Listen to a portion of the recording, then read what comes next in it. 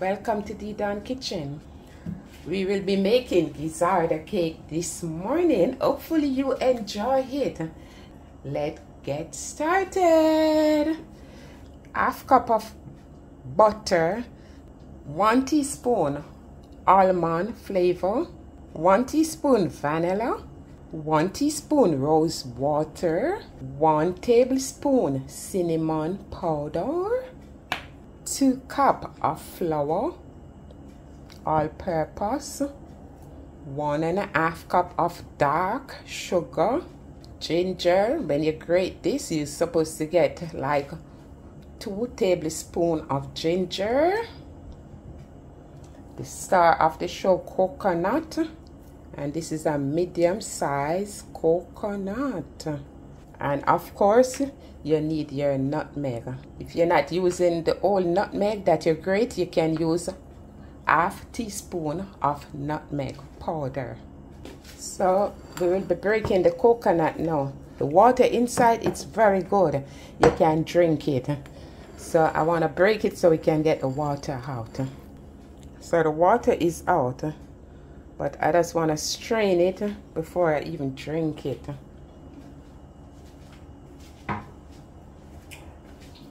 And we're gonna knock on our coconut.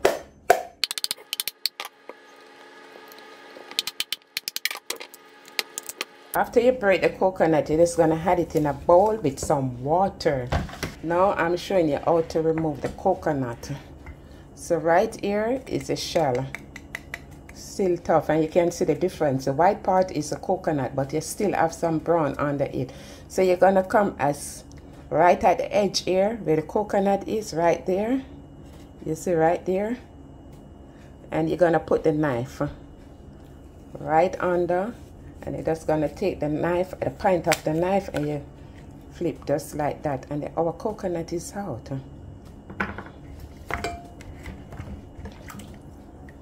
Sometimes when you're breaking it, a part of the shell already come off.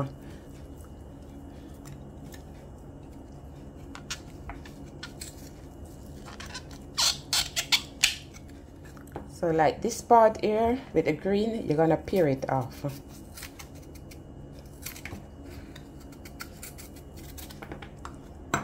You see? So we finish ox the coconut out from the shell it is like this you see and you're gonna grate it so with the grater coconut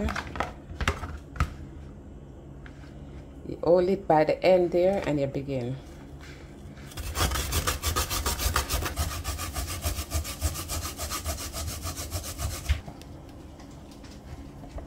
So this is what I'll be doing until everything finish. So now that I finished grate the coconut guys your coconut should be looking like this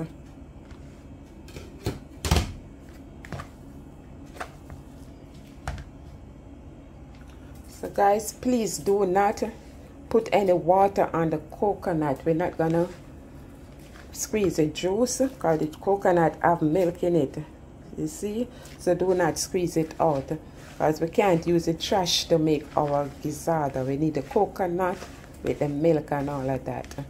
So to this, we're to add the sugar.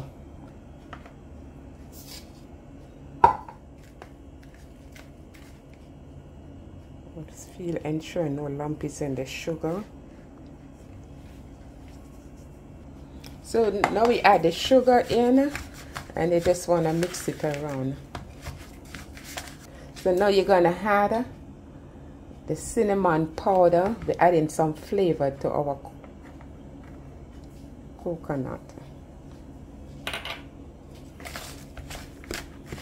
We're to add the almond.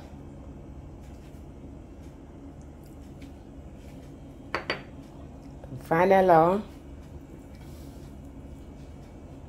And the rose water.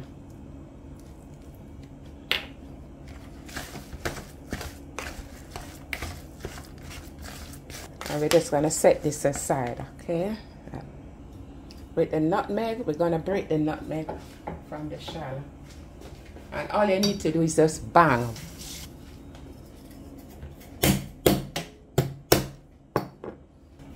And the ginger, you're gonna scrape the outer portion off, just like this.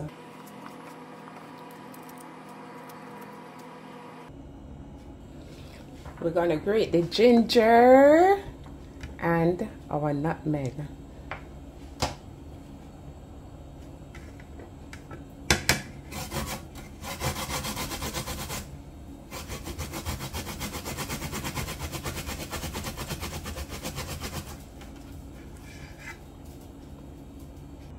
And I'm just gonna grate the ginger right beside the nutmeg right beside the ginger.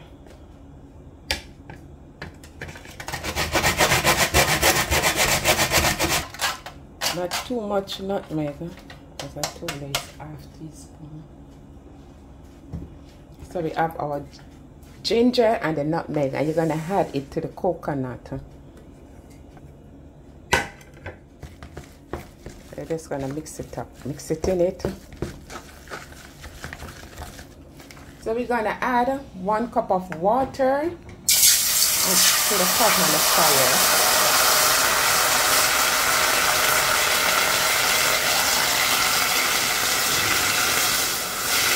It's already boiling and you're gonna add the coconut to it.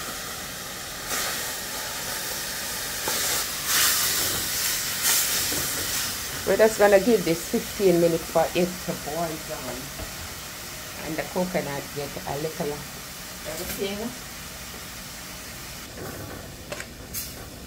15 minutes, so just turn the fire down. So while we're moving on with the other stuff. So this is the filling. We'll be sieving the flour. It's always good for you to sieve the flour, guys.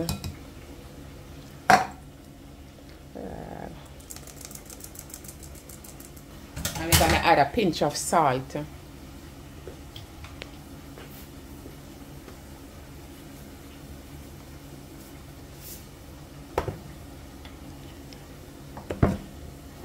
you come come in with the butter.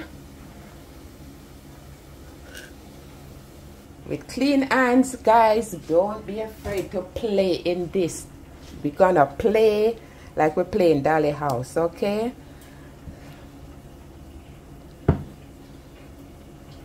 and we're gonna play in the flour until it resembles fine bread crumbs.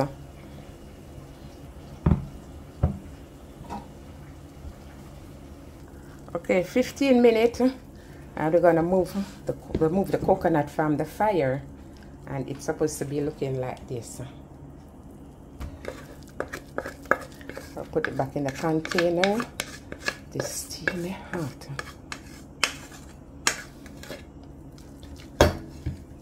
so with ice cool water this water is cold ice water and I have two cube of ice to heat. So you're gonna make a well in and we're gonna come in.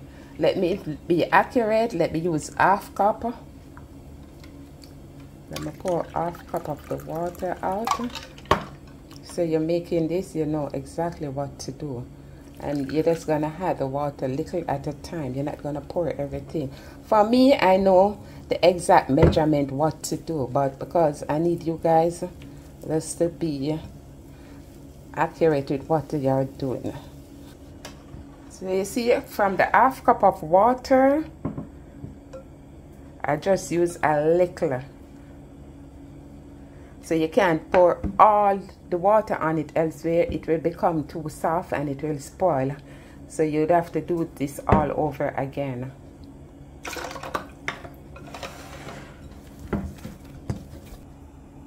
So now guys, we're gonna flour you're gonna put the dough you need to flour so we're just sieving the flour on and place the dough down slowly the rolling pin in the flour and uh, we're gonna roll the dough.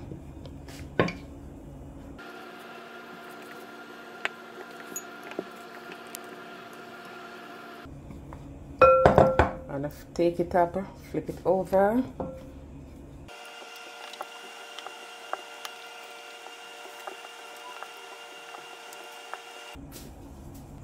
So now we finish roll the dough, guys. You just want to roll. Mm -hmm. Not too thin. And not too thick. Okay. So now guys, you want a round cutter, you can use a glass, something that is round, and the size doesn't really matter. It depends on how you want your gizzada to be.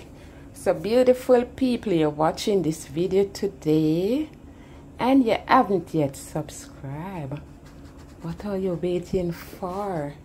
Please be sure to like the video, share the video, and subscribe hit that notification bell so when De Don is doing a video you will be the first one to know and now we're just gonna sieve some flour over on top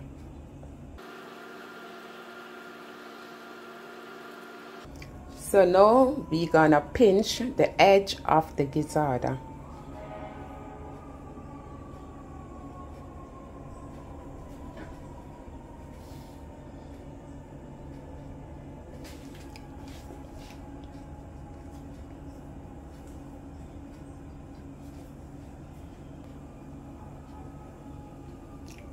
And you use a finger to deepen the inside because remember we have to put the filling in. Just like that you see?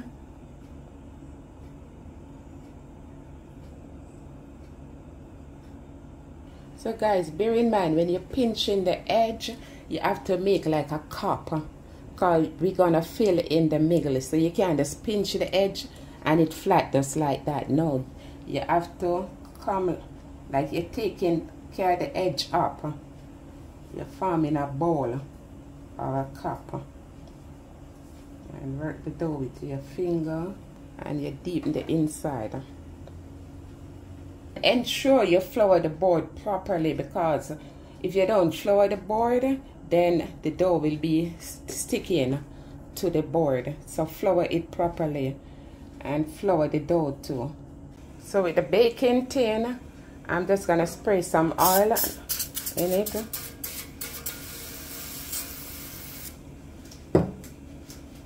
Just for the dough not to stick in the bottom.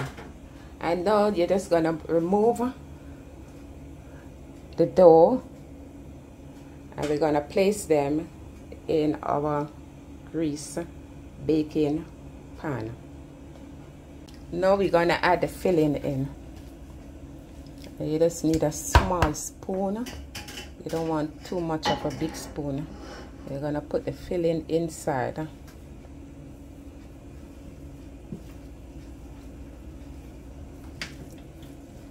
so even before I forgot to tell you guys before you put the filling in you just want to prick pick um the bottom of the door just like that for it